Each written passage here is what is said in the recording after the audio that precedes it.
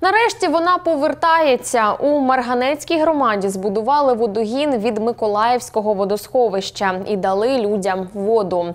Завдяки альтернативній мережі тепер з централізованим водопостачанням 35 тисяч жителів трьох громад Нікопольщини.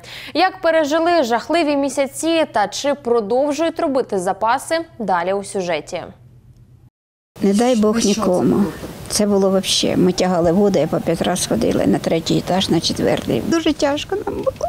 Я ще сама, вже старенька, діти за кордоном всі, а я тягала воду. Пані Світлана не стримує сліз, коли розповідає про те, як жили після теракту росіян на Каховський ГЕС. Через підрив греблі Марганець майже два з половиною місяці не мав централізованого водопостачання. Місцевих виручала привозна вода. Її доставляли до громади з різних куточків області та навіть країни. Цілий день я носила воду, тому що я сама я була носю по дві баклажки, а там всього 10 літрів.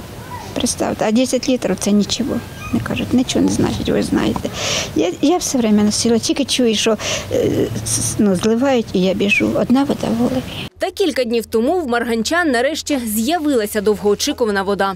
Дивіться, ось не треба дуже. Прозора вода, хороша вода. Ну, слава Богу. Водопостачання у громаді відновили завдяки альтернативному водогону. Його збудували з нуля, проклали понад 7 кілометрів трубопроводу та звели насосну станцію. Життєдайно беруть з Миколаївського водосховища. Наразі йде наповнення магістральних мереж. З водою будуть 35 тисяч людей у трьох громадах Нікопольщини – Марганецькій, Мирівській та Томаківській. Вона технічна. Довести її до питної якості нема такої технологічної можливості, але вона проходить е, очистку, знижараження гі- гіпохлоридом натрію і подається в мережу. Кілька місяців без води мешканцям зневоднених територій далися в знаки. Попри те, що з кранів знов біжить вода, люди все одно тримають вдома запас кількасот літрів про всяк випадок. Без води складно. Ви бачите умови, що гає попрати, і помити посуд, і, як кажуть, і приготувати їсти. А особливо, якщо сім'я, діти, то це взагалі ну, я не дуже складно. Централізоване водопостачання в Марганці відновили, а місцеві продовжують набирати воду у пунктах видачі, які ще працюють. Пан Андрій зізнається, так спокійніше, та й воду, що в системі зараз можна використовувати не для всіх потреб. Солюнувата трохи.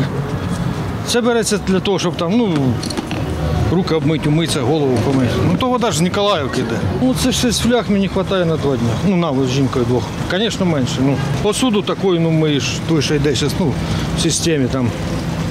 А так. Це так, умитися, самому обмитися.